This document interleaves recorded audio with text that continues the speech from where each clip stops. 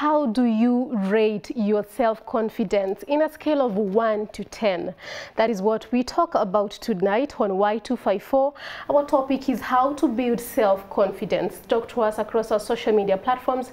That is at Y254 channel. You can also reach me at Patricia Morioki. Tonight's topic is something that is very it's a topic or an area that is very dear to me. It's something that I'm very passionate about.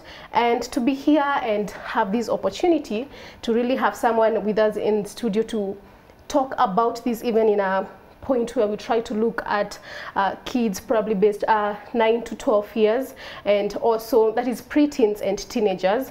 It is going to help us or you as a viewer to really understand what do we really mean when we talk about self-confidence when we talk about validation how are you going to be able to compare yourself with others but not have that um, impact or affect your life in a negative way? How are we able to probably uh, benchmark ourselves based on how our peers are doing in a very positive way without putting pressure in ourselves? We also try to look at ways in which how our parents, guardians, and also teachers get to contribute to the self-esteem of young kids that is either they have a low or a very high self-esteem. With us in studio tonight, we have Coach Paps, who is the founder of Reconfidence Coaching Thank you very much for finding the time to be with us tonight. Thanks for having me. And my first question to you would be, when we talk about confidence and when mm -hmm. we mm-hmm. talk about self-esteem, uh, sometimes when certain things are missing from all these, it is because of probably there's a certain insecurity somewhere mm -hmm. in your life or you've had an experience mm -hmm. with insecurities. So where do you think insecurities come from? First things first, everyone was born confident. Mm -hmm. You are the sperm that won uh -huh. You know, the yeah. formation of your life was actually confidence. Mm -hmm. You know, children were bulging their mother's stomachs unapologetically. Mm -hmm. You know, you didn't care. Uh -huh. And then when you came to the uh, delivery room, we shout, you know? yeah. You just cry your lungs off. When you're young, you used to ask for anything. Mm -hmm anything you wanted. Mm -hmm. And then, of course, life and the due course of socialization, upbringing, mm -hmm. kept on chipping away on confidence. Mm -hmm. And so, reconfidence is actually about acknowledging I was born confident, I mm-hmm. lost it, and I'm mm-hmm. coming back to it. Okay. And that is what all our coaching work is all about for children. Mm-hmm. Yeah, that is the preteens and teens, 10 to 19. And then for women, because we also bring alongside women as future mothers and also as current mothers who are able to influence their children in a powerful way, mm -hmm. and then also mentors mm -hmm. in terms of teachers, whether in schools, in churches, to just bring them alongside as people who are very instrumental in making children believe in themselves. And why? It's because behind every adult, mm -hmm actually within every adult is a child. Yeah, it's true. You know, and that child probably was influenced by people who are ignorant. Mm -hmm. Even for those who lost, who lost confidence, we had negative voices in our upbringing mm -hmm. that kept on chipping our confidence. So how can we be the positive voice to the children who are growing up around us? Okay. So that is my concern. Uh, where do, when we talk about insecurities then, where do they come from? Because I can say also, like as an individual, I have had insecurities. Mm -hmm. There are mm-hmm. also insecurities that um, Me too. I'm dealing mm -hmm. with. So where do all these come from? So number one is insecurity. The root of insecurity in terms of uh, classifying emotions is fear. Mm -hmm. It's just fear. I'm afraid. Mm-hmm. I'm afraid I'm not good enough. Mm-hmm. I'm afraid people will not like me. Mm-hmm. I'm afraid I need to keep on stepping up and looking a certain way or you know, just be a certain way to be liked. Mm -hmm. And so the root of it is fear. And that fear now starts influencing our behavior, mm -hmm. you know, and of course we now keep on manifesting it in different ways, whether it is quietly, because are people who are introverted and they are insecure. Yeah we have people who are extroverted like us who are loud mm -hmm. and mm-hmm. clear out here but depicting insecurity mm -hmm. you know so number one it is to understand the root cause is fear mm -hmm. i need to face my fears and confront them yeah like our program for children is called facing giants mm-hmm. so probably even if you are an adult you need to face that giant called fear and just tell yourself you know what it is what it is mm-hmm. this is what i'm afraid of this is what um, just keeps on probably triggering insecurity in me. Mm -hmm. Yeah, this is what it is. And for you to acknowledge that actually takes a lot of confidence, mm -hmm. which is actually confidence is getting past that insecurity, but yeah. it also takes confidence mm -hmm. to be able to confront and call yourself out instead of waiting for others to call you out. Mm-hmm. Yeah. When you when you mentioned uh, sometimes insecurities come from not feeling good enough, do we really have to feel good every time? Mm-hmm. Do we? First of all, it is uh, one of the things I usually say. First of all, understand the longevity. First of all, insecurity is not a bad thing. Mm-hmm. Yeah, because sometimes it comes from comparison. Mm-hmm. I'm comparing myself to someone else. Sometimes I can actually feel insecure and then I start probably working towards it because like I said, it's fear. Mm-hmm. And so you need to ask yourself, why is this fear here? What is it telling me? What can I do about it? Mm-hmm. How can I embrace it instead of resisting it? Mm-hmm. Yeah, because when you embrace it, then that fear becomes useful and helpful. Mm-hmm. And so, first of all, it's important for you to ask yourself that. Why? Because we feel insecure different episodes and for different reasons. But one of the things that I will say every time you have more than 25% of fearful episode, paranoia, where any kind of emotion that is overwhelming in a negative way, every time it goes beyond 25%, percent it's a red flag. And so it's about making sure, even per day, if it's more than six hours, it's toxic mm-hmm. because that is the quarter of a day. Okay. Like make sure it doesn't overwhelm more than the quarter of your life and quarter of your time. Mm-hmm. But there's nothing like positive or negative emotion. Mm-hmm. It's just something that is coming to give me some information. Every emotion, whether it's fear, whether it's anger, whether it is sometimes even feeling embarrassed, ashamed. It's, it's just supposed to be temporarily there. And then I need to embrace it and ask myself, what is the use of this emotion being in my space and then go beyond it. Okay. Yeah, so that place of being able to go beyond it sooner mm-hmm. is actually the trick where confidence lies in. Mm-hmm. Yeah, even when you fail, mm-hmm. to be able to pick myself up and move on, 25% is the recommended time of staying down. Okay. Yes. When we talk about self-awareness and with your intention to uh, make sure that young kids are aware of who they are, they love themselves, how do you plan to literally actualize it to uh, to make sure that a nine-year-old really gets to understand what self-awareness is? How do we break it down to them without like giving them these ambiguous words, or without like giving them these big things that probably they're not even Oh, yeah, so oh, yeah. aware about. So how do we break it into bits for them to really understand what we mean when we talk about you need to be self-aware as a young girl and as a young boy? Mm-hmm. So right now we have a program that is actually running mm-hmm. where uh, this season we are doing self-mastery mm-hmm. in terms of this child understanding themselves. And one of the things usually, uh, first of all, as my approach, is to help this child understand the resources they already have. You know, to just help them discover that, do assessments. And you'll be amazed at how brilliant children are. They don't get overwhelmed with information. The only thing that overwhelms them is too much data. Mm-hmm. But if you're giving them some reflective things, which coaching is about reflection and self-reflection and being able to look at themselves and see their potential mm-hmm. and then also now helping them use that potential to mm-hmm. solve problems out here. Because one of the things with self-mastery is helping that child to know how they can change the world as young as they are. Because one of the things we tell children in our program is that you are not born to change the world in future. You are born to change the world right now.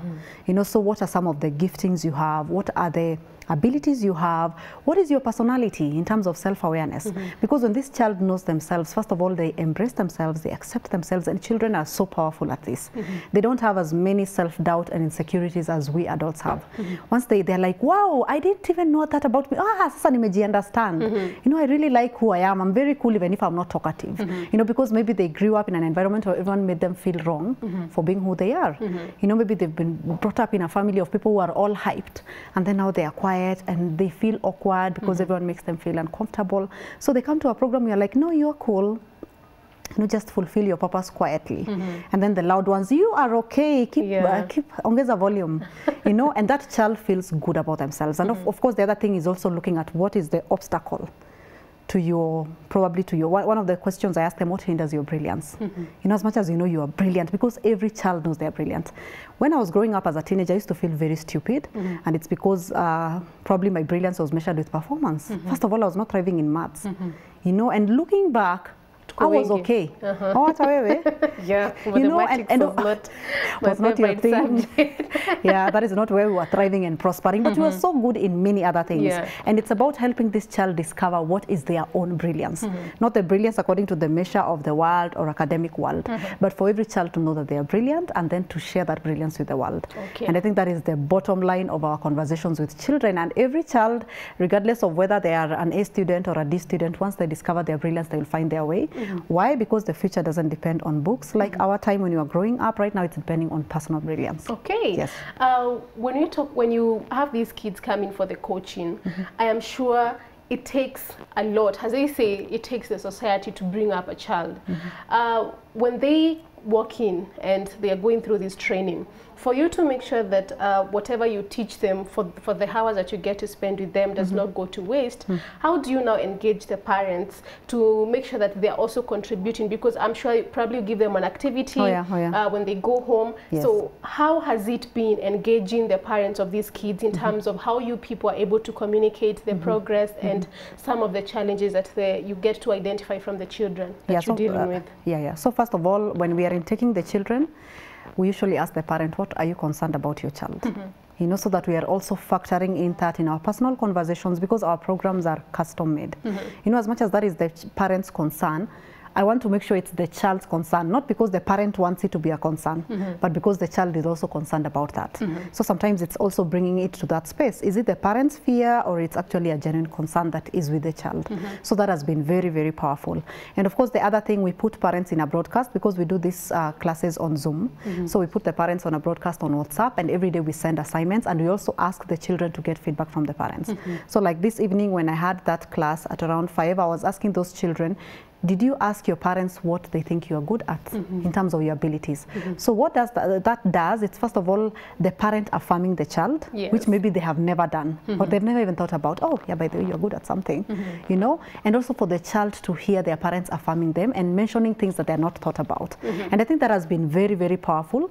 And of course, the other thing is to also put in activities. Can you believe we are actually teaching the children about SDGs? Wow. Yeah, the Sustainable Development Goals, because we are telling them until you understand this concept, mm-hmm. and of course they are cartoons. Yeah, mm-hmm. but the parents should encourage their children to watch those version of children, the SDGs for children, mm-hmm. because there are a lot of videos out there that even a child who is as young as six can understand, so that they are looking at themselves as world changers.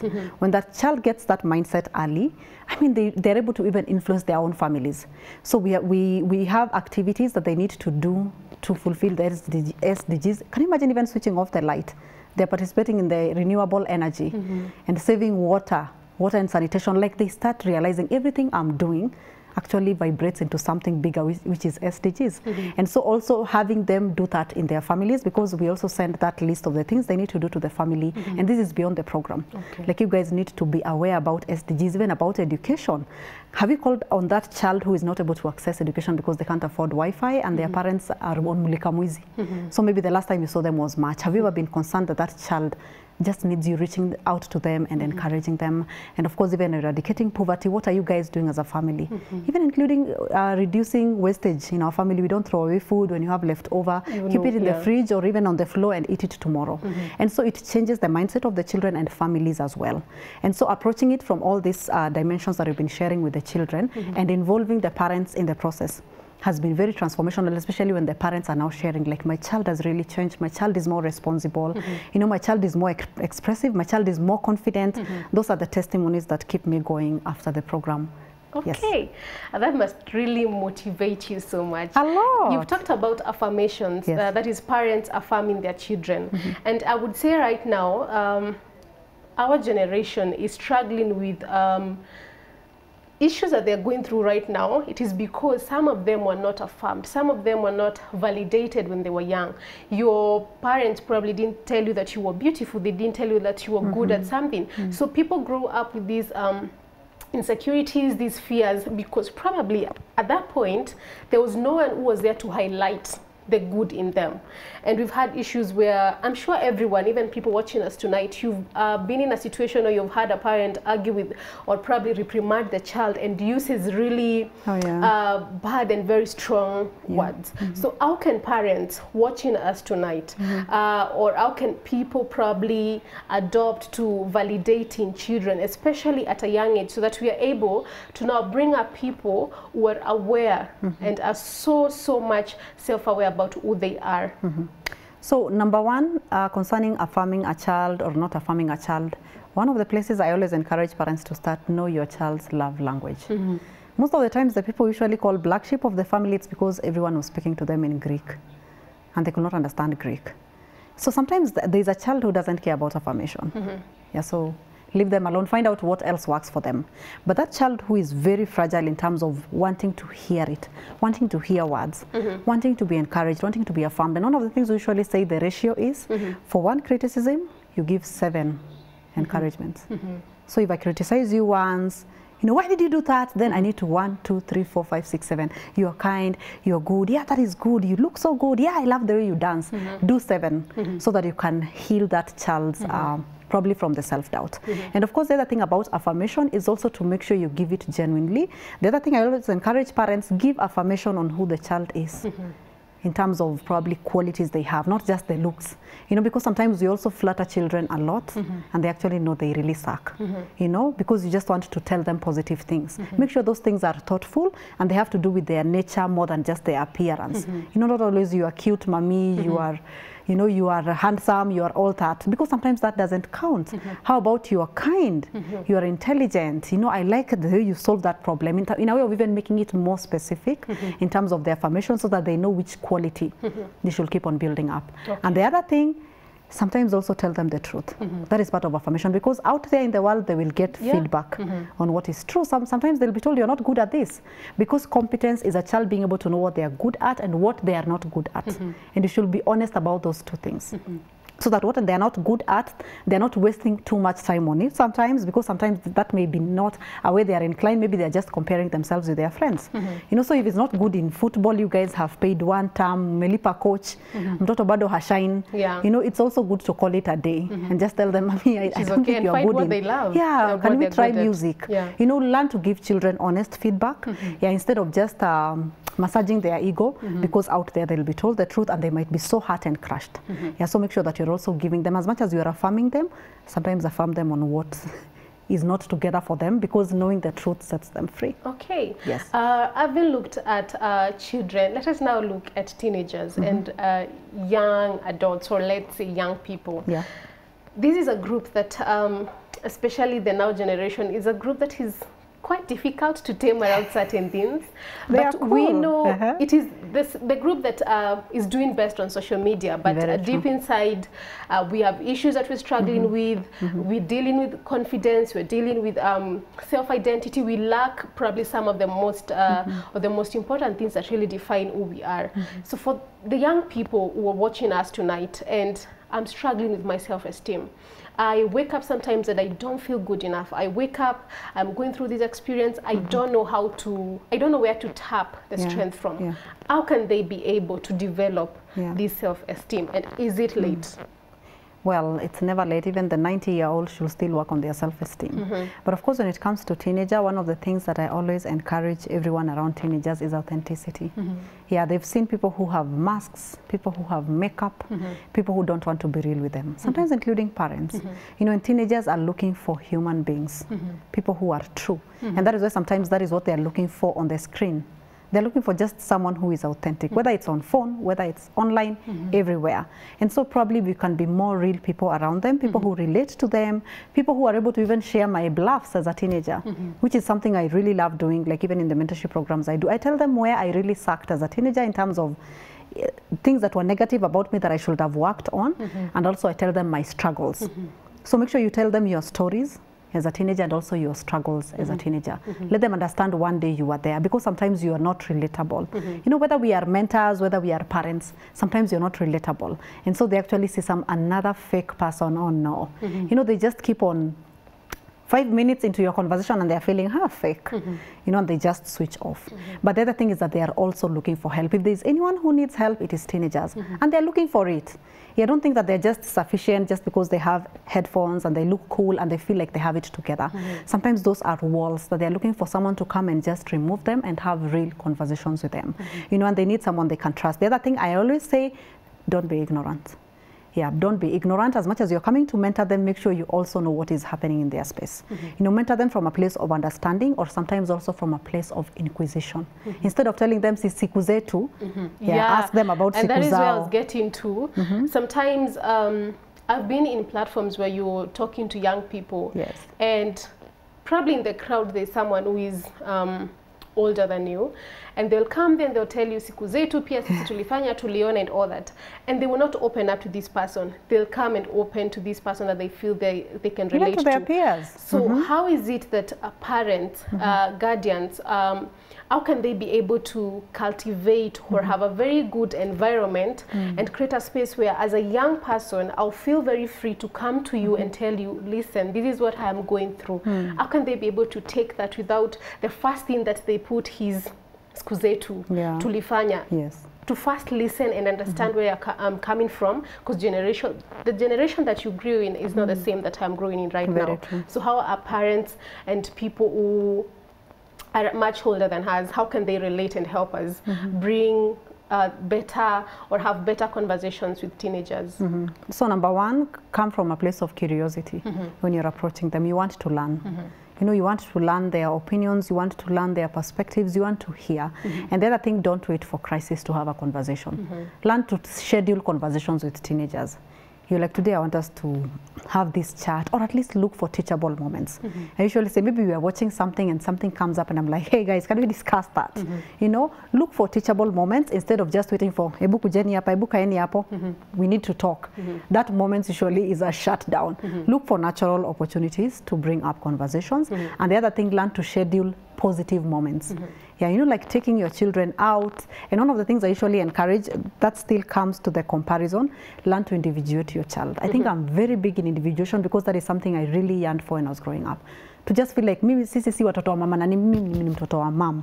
You know, like let them know they are an individual as much as you have 10 children. Mm -hmm. But they know that in 10 individuals, not a group of 10 children. Let them also feel that effect of I'm special.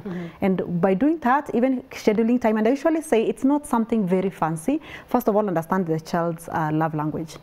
Kama ni mtu wa gifts, maybe buy them a gift that you can start a conversation This is a new one because most of the times when you talk about love languages, we're only thinking about that in romantic relationships. Ah, So I think it's a new one when you get to talk about, um, as parents, identifying your kids' love language. very important. And I would like us to talk about uh, self-esteem. Yes. Like, where is it that we, where should we, should it depend on? Because let me tell, different people have um, different opinions on where their self-esteem or like what mm-hmm. their self-esteem depends on. So, mm-hmm. what are some of the positive things that we can use to gauge on how we're doing in terms of the growth of our self-esteem? Mm-hmm. So um, maybe to discuss the inputs to our self-worth. Mm-hmm. Let me call it self-worth mm-hmm. because esteem is a bit general in terms of my perception around my environment. Actually, when I'm defining self-esteem is how I feel about myself in relation to my mm-hmm. environment. Yeah, because there's nobody who struggles with insecurity when they're in the bathroom or the toilet alone. You actually struggle with it when you get out. Yeah. So it has to do with other people. Mm-hmm. Yeah, when I'm alone, I'm actually okay. Mm-hmm. You know, and then when I come around you, that is when I'm like, she's mm-hmm. looking at me, maybe it's my hair, maybe Yeah. it's, you know, but if I was alone, I'm just like, yeah, I'm okay, I'm okay, you know. So one of the things about our self-esteem is first of all to understand what are my struggles on self-image in terms of how I see myself. And then number two, also my, my um, self-esteem is self-image. And then number two is self-worth in terms of what is the price tag I put on myself. Mm-hmm. And then of course it also has to do with self-perception and per- perception of others. Mm-hmm. Because sometimes my, uh, I was actually saying there's nothing like high or low self-esteem. It's just a healthy self-esteem mm-hmm. because everybody gets a dive every now and then. Everybody doubts themselves. So being able to come back to health, it's just the way you get sick. And then sometimes you are you can't be too healthy. You know, you're just healthy and then sometimes you are unwell. And so life keeps on putting us through that dive and being able to come back to health is what is important concerning our self-esteem. But it has to do with our self-image and number two, our self-perception in terms of what I think about myself and then what I think about how I look. Yeah, because there are so many teenagers and even adults who are struggling with self-image issues Okay. in terms of thinking about my potty, my hairline, My forehead. my forehead. my things. uh, how, how much does uh, emotional stability Uh, contribute, or what impact does um, a person being emotionally stable mm-hmm. contribute to them having a good self-esteem, or does it even matter? Well, it has everything to do with emotions because how I feel about myself is what manifests in my behavior, in my attitudes, and in everything. Mm-hmm. And just like the way I'd said, there is no positive or negative emotion. It's just about how I respond to it. Mm-hmm. I usually say emotions is like rain. You know, when it's raining, the farmer is smiling. and the person who left their clothes It's- hanging outside and they were almost dry is stressed. Yeah. You know, so emotions are neutral mm-hmm. until you assign meaning to them. Mm-hmm. You know, so an event happen, happening is neutral. Mm-hmm. So probably I came over there and shoved you. It doesn't have meaning until you tell yourself something about it. Nafikiria ni nani? You know, until you give it meaning, but unafikiria, is she crazy? Does she need some help? Mm-hmm. You know, that would give you an, a different emotional reaction mm-hmm. from thinking negatively about me or thinking positively about me. Okay. And then, of course, now from the first of all interpretation, that is when the, the emotion comes from. Mm-hmm. And so everybody, instead of just trying to edit the printout, you need to go back and change the settings. Okay. So go and edit the document instead of trying to fix the printout. Even concerning our emotional stability, because as long as I keep on getting the same output, if I don't change probably even my self-perception, how I judge myself, the other thing that is very powerful on uh, affecting our self-esteem is self-talk. Mm-hmm. What I tell myself about myself mm-hmm. and what I tell myself about you. Okay. because sometimes that self-talk is my personal opinion about me and also about the people who are around me. Mm-hmm. And whatever i tell myself if it's negative then i'll get negative emotions automatically and then i'll start having negative reactions. So if i told myself something wrong about me around you every time i'm around you i'll start behaving in a certain way mm-hmm. i usually call it the prophecy of doom and so every time I'm around you, I start feeling insecure. Every time I'm around you, I start feeling unsafe. But it's because of what I'm telling myself about myself and mm-hmm. also about you. Okay. And so probably one of the things I encourage people, have a conversation about the person who is making you feel insecure. Mm-hmm. You know? Yeah, like sometimes I'm just kind of, naonanga saa ingine kama unaniangalia vibaya. You know, hata kaa si ukweli. Hebu You know? Eh, hebu tuniambie then like, ah, mimi hata kuangalia vibaya. You know, even if they were It looking at you badly, hata yeye it Hata yeye atachange. So now, as we get to the end of this conversation, we have social media. Uh, social media as um, affected very many things. Social media has uh, its positives and its negatives. Mm -hmm. But looking at uh, uh, around self-esteem and confidence, I'll go on my phone and see that friend of mine. Wow, she drives this car. She has bought this bag and all mm-hmm. that and all that. So how does um, social media now the negative uh, part of it? How does this affect my self-confidence journey in my life? Mm-hmm. Yeah. So one of the things is to ask yourself, why are you in social media? Mm-hmm. Are you there to feed your insecurities or to also add value? Because if you're coming on social media to contribute, your mindset is different from someone who is coming to gain. Mm-hmm. You know, to just pick, pick, pick, pick, pick, and to feed my insecurities. Mm-hmm. But if I'm coming there to add value, probably even when I see you come, like, wow, that is cool, I've mm-hmm. contributed. Instead of just feeling, hmm, okay, Mona. Yeah, and the troll, You know? those who are so good at just yeah, because we come to comments. troll, but it's because you're feeding your insecurities. So why are you on the socials? mm -hmm. That is one of the most important thing young people need to ask themselves. mm -hmm. And to ask yourself, how can I leverage on socials? What are the strategies I can apply? Of course, all of us have those times of just scrolling up. Yeah, You know, and, and it's okay. yeah. which is okay. Yeah, we find funny people and they just make our day. Mm-hmm. But it's also important for you to get on social and you get depressed within two minutes. Yeah, it's true. Nobody discouraged you, nobody talked to you, mm-hmm. and then you just have an emotional dive. Mm-hmm. So it's important to ask yourself, what is my motive for being online, and also how can I use this platform to add value instead of just getting value? Okay. Because everybody has always something to give. Okay. Uh, self-evaluation. This is something that uh, is very important to me. It is something that I try to do as mm-hmm. often as I can. So for people who are watching us to, to, tonight, and it's the they have heard about self-evaluation, but they've really never taken time to really know what it is. Oh, yeah. How does self-evaluation help us build our self-confidence, uh, mm-hmm. and how often should we do that? Should we Oh, yeah. self-evaluate? Oh, yeah. Oh, Uh, so first of all, self-evaluation is just like CATS, continuous assessment. But now these You ones know? you have to do them by yourself. Very true, but you continually assess yourself. Yeah, yeah. Yeah, like everybody needs to close their accounts in the evening and just ask yourself, how did I do today? Mm-hmm. And then everybody needs to also go away. That is actually something I am big on. People need to retreat. Mm-hmm. Go somewhere where you're not needed, nobody cares. Take a break. You know, just take a break from life. Mm-hmm. You know, leave your screens behind. Leave your socials behind. Just go somewhere and be by yourself Mm-hmm. and ask yourself, how am I doing? Without anything, without anybody's opinion. Mm-hmm. And of course, the other thing I always encourage self awareness. Discover your giftings. Know what you're good at. Mm-hmm. Know what to play to. Know also what you're not good at so that you just have a feeder of your whole package. Mm-hmm. you know so that you don't even have a need to compare. Like personally because i know my giftings i don't feel insecure when other people have different giftings. I'm like wow. Mm-hmm.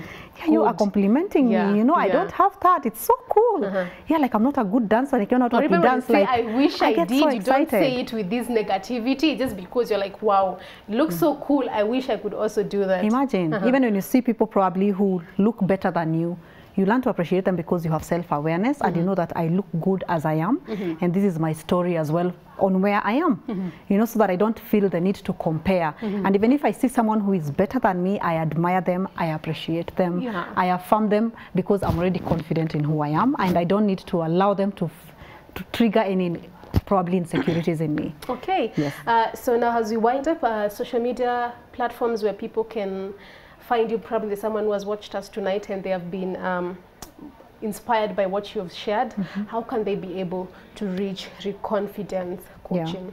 Uh, so I'm on social medias as, as Paps and Paps Wanyugi. Paps Wanyugi on Facebook, Paps Wanyugi on Insta, Paps Wanyugi everywhere. Yeah, like that is where you will find me. And of course, also Reconfidence with Paps is my YouTube channel. Yeah, you can watch the videos I've done over there. Yeah, just on different conversations that I'm passionate about. Yeah, and some of them just self-filmed because I couldn't let that story wait for the videographer to come around. Okay. Yes. Uh, thank you very much, uh, Coach Paps, for finding the time to be here tonight. I hope that you've learned a lot, and this is what I have to say from tonight's conversation. Confidence keeps us going even when we are failing. Be very intentional about building your confidence uh, muscles because no matter how smart you might be, you still need confidence and a good self-esteem to have a complete puzzle. We are all work in progress, as I say, so let's not stop fighting to be the best versions of our imperfect selves. Give yourselves a chance. My name is Patricia Moriuki. To have yourselves a very good night.